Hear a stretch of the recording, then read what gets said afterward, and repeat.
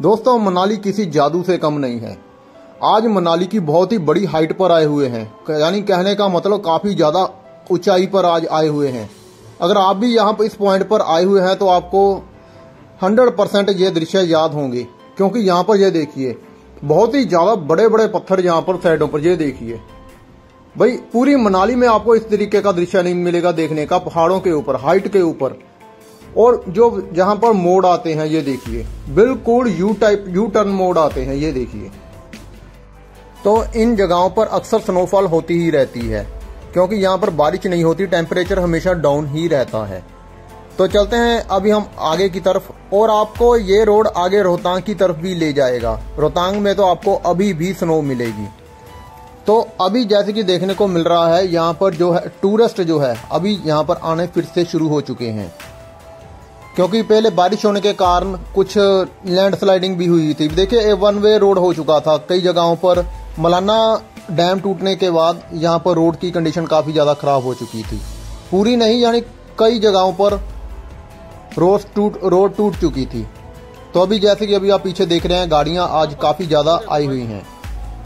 तो यहाँ पर एक बहुत ही बढ़िया झरना है, वो चीज़ देखने को लोग आते हैं यहाँ पर। सेकंड जो, जिस पॉइंट पर अभी मैं यहाँ पर रुका हुआ हूँ।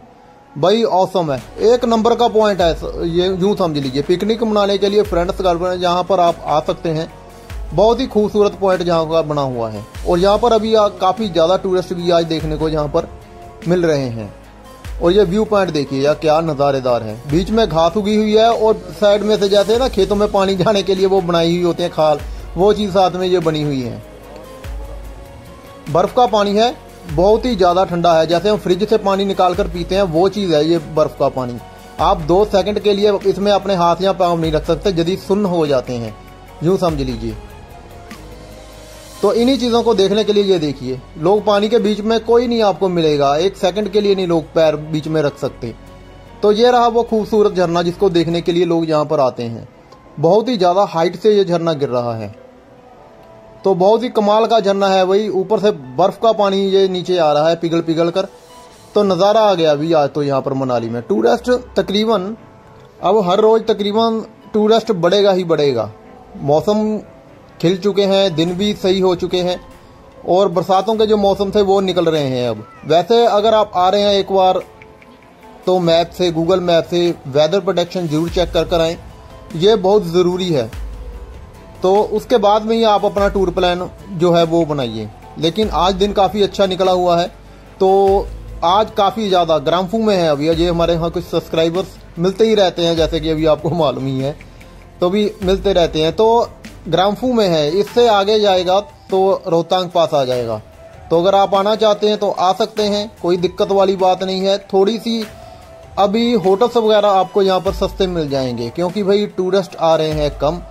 तो रोहतांग पास के लिए भी अगर आप जाना चाहते हैं तो जा सकते हैं।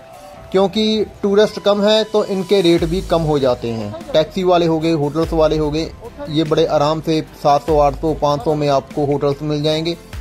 और रोहतांग पास के लिए भी आसानी से टैक्सी आपको मिल जाएगी कम बजट और बजट में मिल जाएगी। तो ज़रूर आइए मनाली दोबारा फिर से यहाँ पर टूरिस्ट का आना जाना शुरू हो चुका है। तो जैसे भी अब आपका आगे का प्रोग्राम बनता है तो आप वेदर चेक कर कर अपना प्रोग्राम बनाकर यहाँ पर आ सकते हैं। कोई किसी भी किस्म की कोई यहाँ पर समस्या नहीं है। तो दिन भी काफ़ी, अब तो खिलने शुरू हो चुके हैं, धूप निकलनी शुरू हो चुकी है।